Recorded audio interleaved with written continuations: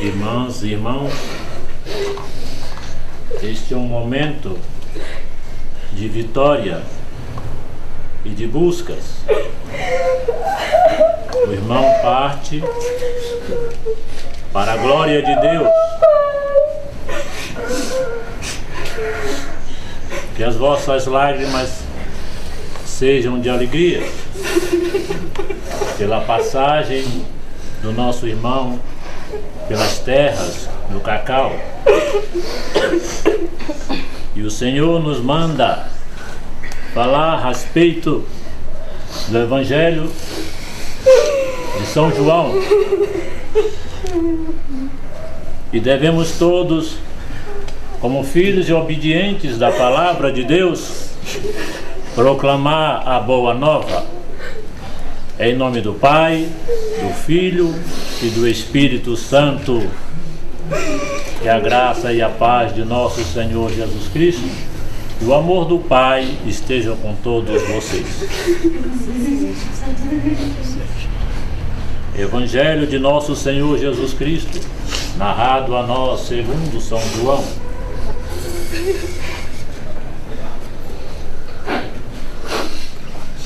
Não fiquem perturbados os vossos corações.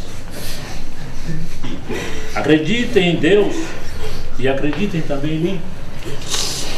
Existem muitas moradas na casa do meu pai. Se não fosse assim,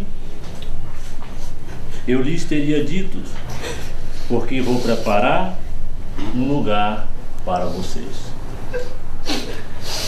E quando eu for e lhes tiver preparado um lugar, voltarei e levarei vocês comigo, para que onde eu estiver, estejam vocês também.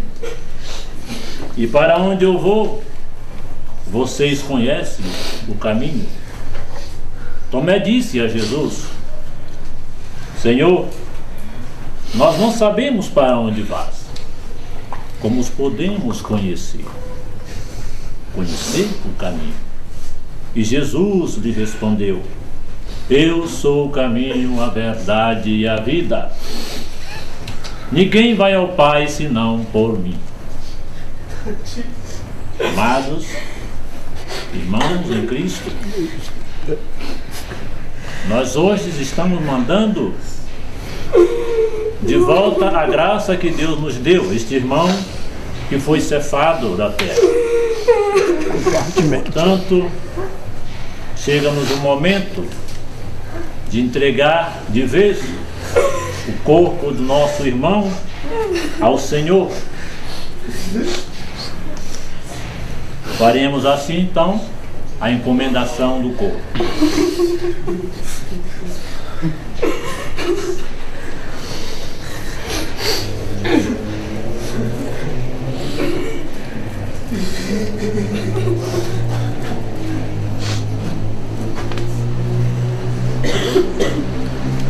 com fé, esperança e vida eterna.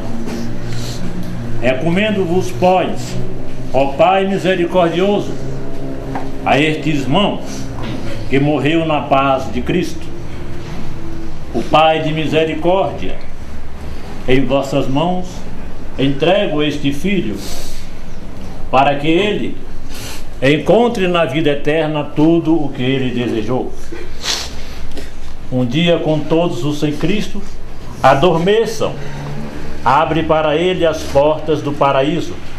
E a nós que aqui ficamos, consolai-nos com certeza de que um dia encontraremos todos na vossa casa.